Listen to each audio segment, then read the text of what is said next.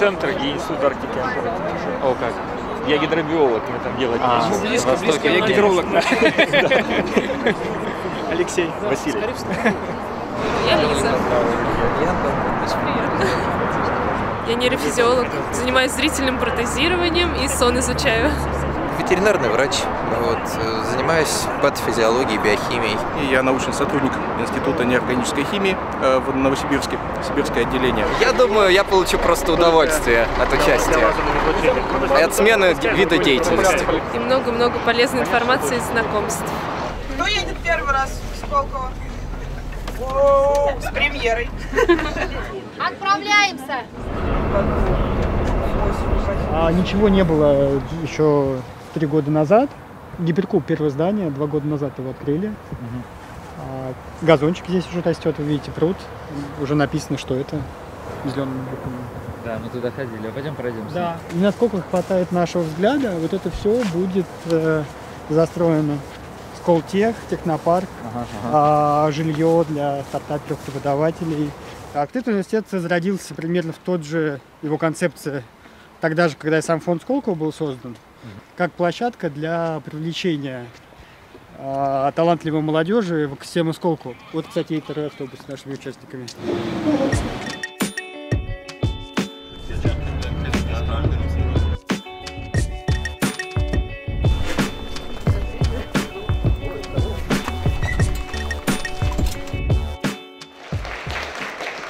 понятие «российский ученый», оно мне крайне не нравится, А, потому что наука, ну, как и большинство других областей деятельности человека, она, в общем, географические или политические границы, ну, не признает, что ли. Бруно Латур – это такой человек, который приезжал э, к диким индейцам Амазонии, забывал весь груз белого человека и пытался изучить их, почему они существуют. Вот. И вот он придумал такой метод, что вы забываете все, что вы знаете, а просто изучаете, погружаетесь и изучаете. Значит, что, если вы были представителем этой компании и решили заработать еще чуть-чуть денег? Какое решение вы могли бы предложить для э, владельцев этих молочных заводов? Взять бы бактериофагов, напихать вот в эту чашку Петри, потом добавить этот элемент. Вот, и отдать все, что сохранилось. Дайте мне свой телефон, и могу вам это сам устроить вас на работу. Если бы это было в 2006 году, вы бы сейчас были просто в золоте. Действительно. Ученому нужно заниматься интересными штуками и делать это хорошо, делать науку хорошо. Что такое делать науку хорошо? Вы должны заниматься этим так, чтобы вы могли потом в условиях более-менее честного peer-review, ну то есть экспертизы, продлить, убедить кого-то, что нужно, чтобы налогоплательщики давали вам деньги на то, чтобы вы занимались тем, то, что вам интересно. Нам нужно а, сделать шесть групп, а, которые будут выражать в себе метафору армии для науки, советников науки, казну науки, крепость науки, союзников науки и народ для науки. Я прошу поднять руки тех, кто хочет быть армией науки. Как, помогите мне посчитать количество. А кто хочет быть э, советниками науки?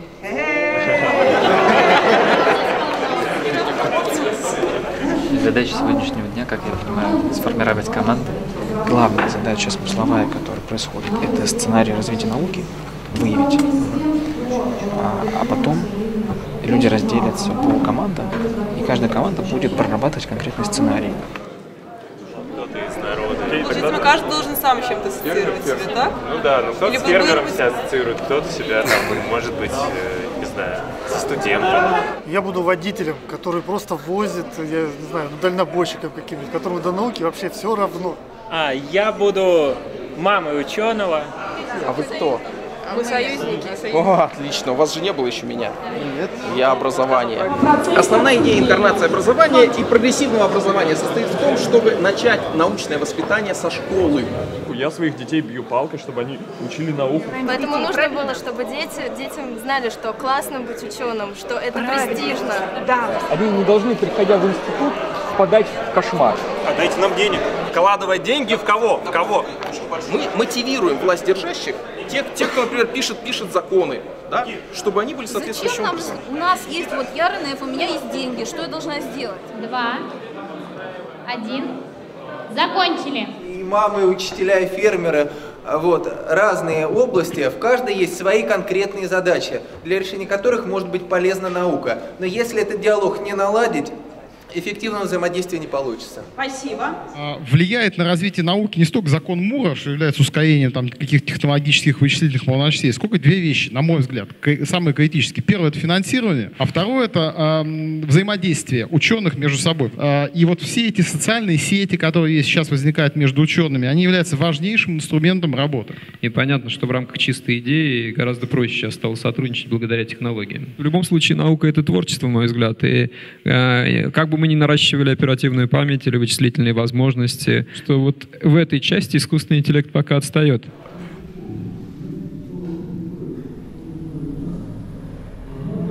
У нас в стране э, механизма, который бы позволял из академической разработки создать индустриальный продукт, вот этого механизма у нас не существует правильная позиция государства – это создание неких стимулов.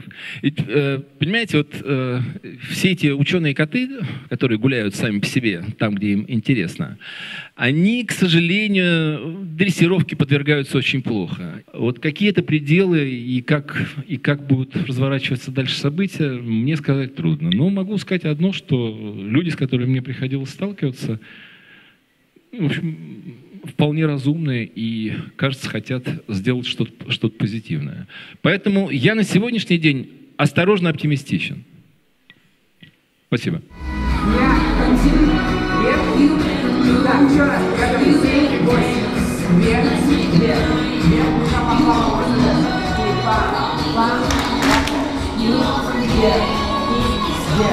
Организаторы показывают пример. А вы в другую сторону делаете. Получилось. Зарядка с утра полезна. Особенно в компании красивых девушек.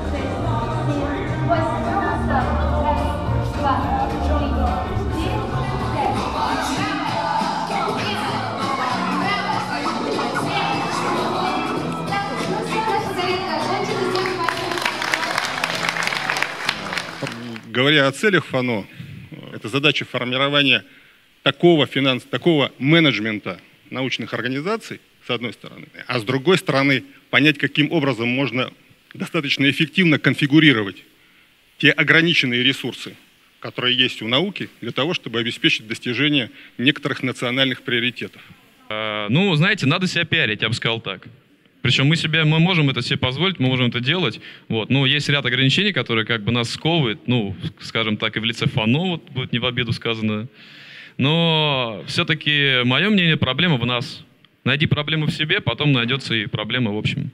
Там есть прекрасный тезис, что барин вот приедет, барин нас рассудит. Э, ну, коллеги, ну не приедет. Оно не определит для вас перспективные темы исследований. Наверное, я хотел бы вас всех призвать, особенно когда мы говорим о целеполагании, э, ставить э, именно цели, ориентированные на результат. Вот что должно быть у нас с вами на выходе, у каждого из вас через пять лет, чтобы вы считали, что вы эти пять лет проработали недаром. So please everyone take one of these form sheets. There's also the presentation attached to it, right? So На всех не хватит или... Я полагаю, это на 8 This should be the first sheet. Так это презентация. It's all for us or maybe... It's all for... No, it's all for you. Look. Look through it. Вы понимаете, что делать?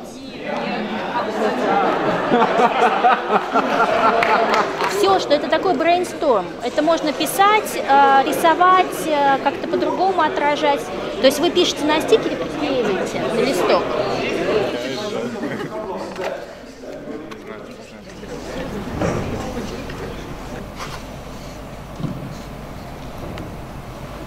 Садишься на коленки друг к другу, кружком. И получается, каждый сидит на коленке предыдущего. А, ну, такой вариант коллаборации. Вот. Хотя с первого взгляда может показаться, что вроде как кто-то по кругу бегает.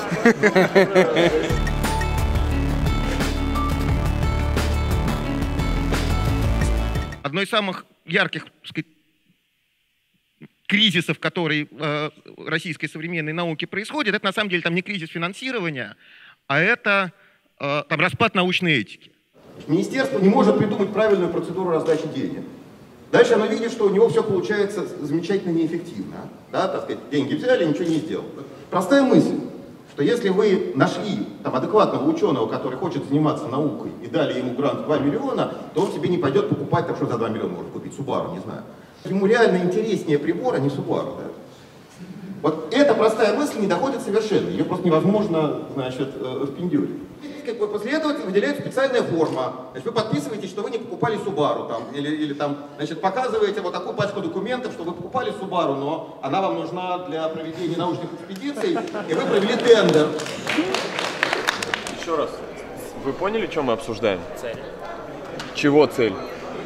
Цель а, объединения молодежи. Мы обсуждаем сообщество молодых ученых, которое формируется, и его цель. Зачем мы будем делать что-то вместе? Мы здесь за тем, чтобы выработать какие-то именно идеи. Идеи это понятно. единственное, что мы реально можем сделать вместе. Мы все живем по разным городам. А наша приятно задача иметь это дискуссионная. Мобильность для зарубежных преподавателей, организовать мобильность для аспирантов. Опять пошло р- решение задач. То есть действительно цель это поднять вот у меня статус ученого. Чтобы меньше э, науки шло в стол и больше э, шло в производство. Очень много возможностей, надо просто тыкаться, суваться. А то, что говорит, все плохо, блин, там отпилили, здесь олигархи, там... Формировать сильные Нет, личности это как мутации. Нет, понимаешь, кому-то чуть-чуть не хватает, кому-то чуть-чуть не хватает, и вот этого надо пнуть, дать ему возможность. Но наша общая мечта, наш, ну, поправьте, может быть, может быть кто-то считает иначе, да? Это поднять уровень отечественной науки и интегрировать ее в мировую. Да. Вывод. По- Помочь выйти нашим молодым, талантливым, перспективным на международную арену, да? Для того, чтобы понять, насколько ваше сообщество может быть устойчиво, а именно такая тема стоит сегодня перед нами, нужно ответить на, на вопрос, на какой вызов вы отвечаете, какую проблему вы решаете. Да, потому что открытость, да, что нужно, да, люди из разных сфер не держат это при себе. Как же он у меня упрет результаты статьи, опубликует, обойдет, сдаст и так далее. Если такое существует, ну какая наука? Это же сплошные издержки и барьеры, преодоление которых будут требовать невероятных ресурсов времени, денег, упорства, нервной энергии, чего угодно. Потому что одни вот поколения, так случается, они принимают вызов, а другие от него поколения, бывают такие, которые уклоняются. Вот я вот так думаю, что если ты чувствуешь, что твоего поколения вызов не приняло, переноси акцент на подготовку следующего. Если ты чувствуешь, что она вызова принял, приняла, ну тогда что, клади жизнь, чтобы с этим вызовом справиться. Ну, когда ты чем-то занимаешься, тебе нужно не внешними какими-то факторами оперировать, а искать то, из чего ты это делаешь, тот стержень внутри себя, из которого ты действуешь. А, Когда с молодыми учеными начнут разговаривать честно и открыто, тогда возможно, что взаимопонимание наш наладится с органами власти. Наука, она вопреки государственной политике, а не благодаря. Вот надо этот баланс поменять. Конечно, для нас Идей. вот такие мероприятия, которые как летняя школа, стоят из, не из одного семинара, а, допустим, из шести дней, а, это способ привлечения новых участников. Если молод- молодой, соответственно, человек а, хочет попасть в Колково, то ему лучше начать с открытого университета, чтобы, потому что мы показываем, а, какие у него есть возможности профессионального развития, карьерной траектории внутри да. Сколково. Начать с вас. Начать с нас, посмотреть, что можно, а потом он решает, идти ли ему продолжать обучение в Сколтехе или сделать свой стартап, стать участником Сколково, пойти в технопарк. Те, кто хочет, они находят способ прикрепиться. Сейчас у вас будет возможность рассказать в первую очередь друг другу, а также комиссии о том, какие цели вы ставите перед собой и сообществом молодых ученых, как вы предполагаете их достигать, и самое главное, какие первые шаги по их достижению вы наметили. А Глобальную миссию, которую мы видим перед собой, это сделать жизнь человечества лучше через познание мира. Ценности, какие мы видим, это общедоступное качественное образование, воспитание, свобода самореализации. Поэтому для нас важны ценности – это профессионализм, это, конечно, свобода и это, конечно, научная этика. Безусловно, э, эффективное развитие науки невозможно без удовольствия. То есть науку нужно делать с удовольствием.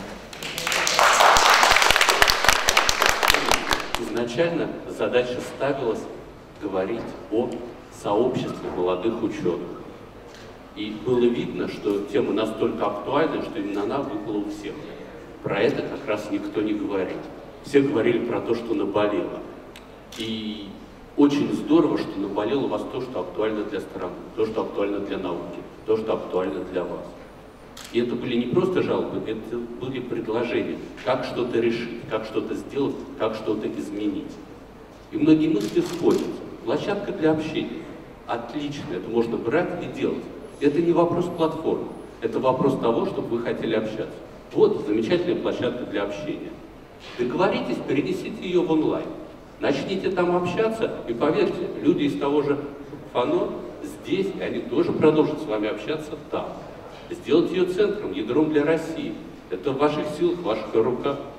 Команда «Научная стихия».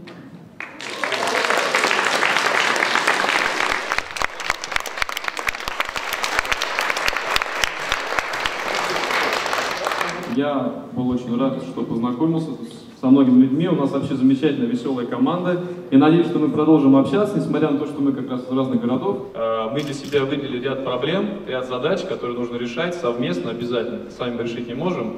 Э, Ну и мы надеемся, что вы в лице ФАНО и вы в лице Сколково нас также поймете, поддержите. А мы будем с вами взаимодействовать, мы это тоже обещаем. Спасибо за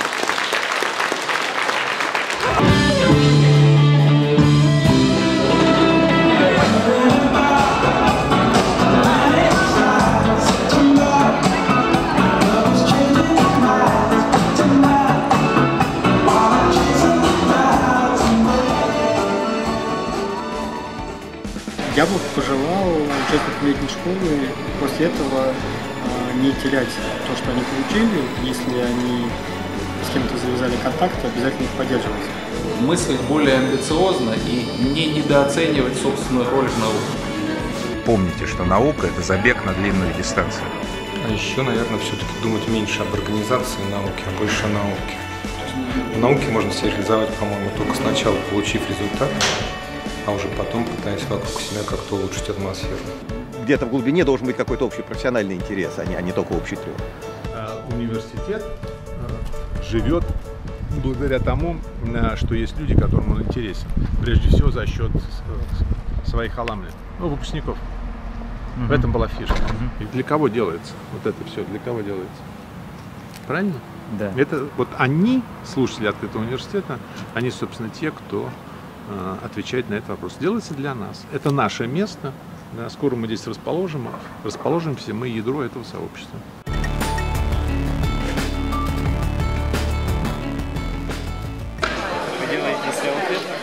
We're making happy with you guys. And with you. And with me. Hey, are you ready? Yeah. Let's go. Say something fun.